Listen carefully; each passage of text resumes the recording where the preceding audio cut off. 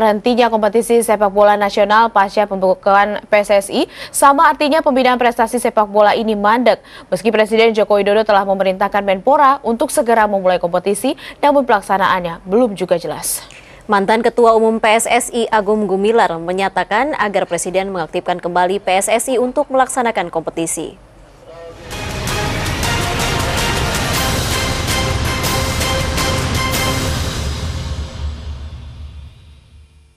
Stadion dan pusat latihan klub sepak bola Indonesia hari-hari ini diwarnai kelesuan.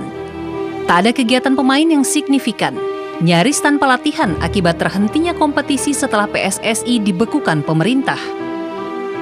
Ketua Dewan Kehormatan PSSI Agung Gumelar angkat bicara. Kalau istilahnya mungkin dilakukan apa pembenahan total gitu kan. Itu kami mengerti. Kami mengerti sekali dan menghormati sekali. Ini adalah keinginan yang mulia. Ya. Tetapi tentunya ya, tidak dengan cara mengamputasi PSSI. Yang sekarang PSSI itu praktis lumpuh. Saya prihatin. Soccer atau bola itu merupakan olahraga rakyat. Semua suka. Ya, dan banyak pemainnya juga sehingga banyak pemain nganggur, banyak juga uh, pendukung itu yang kecewa karena tidak ada hiburan lagi.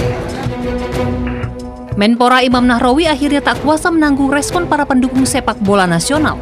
Seolah berlindung di balik presiden, Imam harus menyatakan sikap melaksanakan kompetisi yang akan berlangsung 2 Agustus mendatang.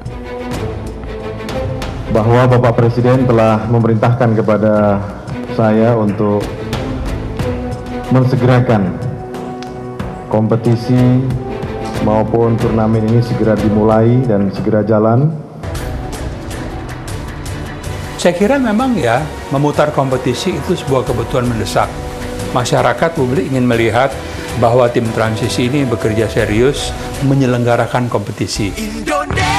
Pemerintah harusnya sadar PSSI bukan milik pemerintah, melainkan milik klub-klub sepak bola sebagai tempat bernaung. Kepastian nasib sepak bola nasional hanya akan tercipta jika klub-klub sepak bola didorong untuk memperbaiki kompetisi, bukan mengamputasi tempat mereka berlindung. Tim Liputan MNC Media melaporkan.